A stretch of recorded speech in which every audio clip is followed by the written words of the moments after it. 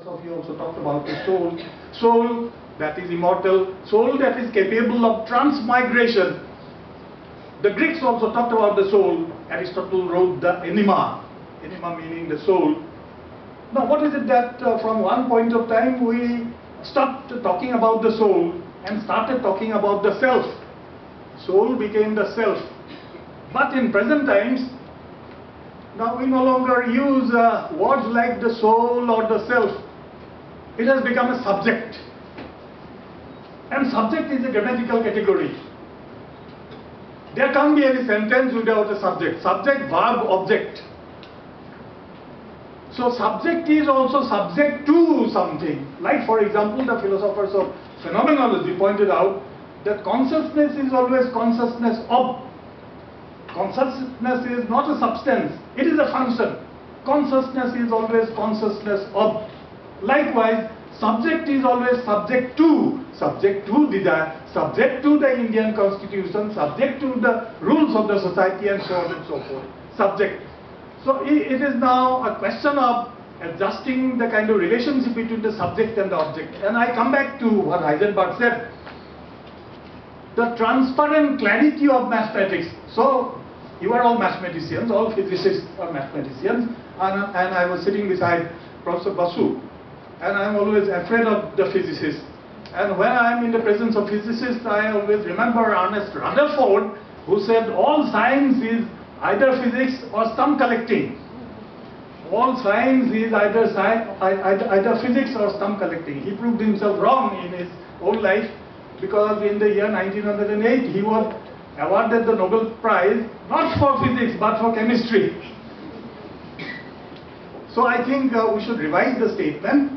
All science is either physics or chemistry, biology or even religion and philosophy.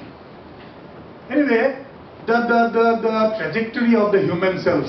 So I think here uh, Buddhist philosophy is very important. And as has already been pointed out by Venerable Dandul, uh, it is not merely the Lord Buddha, but also Nagarjuna and Dharmakirti, and finally Dignaga, the, the, the person who expounded the uh, idea of universal facts and so on and so forth, Buddhist logic and epistemology.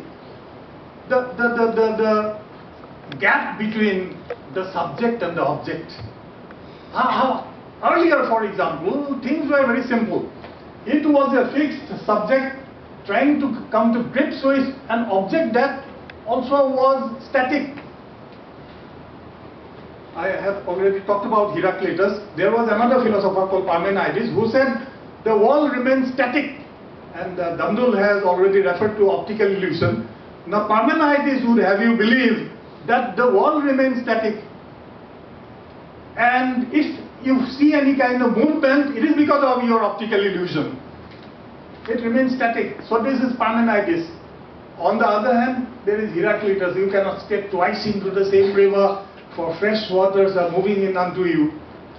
Now, when we come to this question, uh, now since I am in the habit of simplifying things, earlier, for example, pre-quantum days, in pre-quantum days, uh, we tried to grapple with a universe which remains static.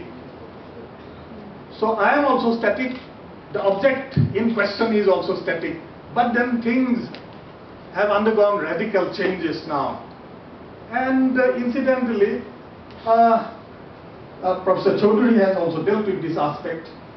Earlier you were very self-righteous and smart because you know mathematics, you have known the physical world, but there are all sorts of problems because the object is beyond you beyond you. For example, the, the, the subatomic particles, the movements, for example, you can't say anything about their movement. They are here, they are not here. And at times, for example, you may even remember some of the verses from the Isha, Isha Upanishad.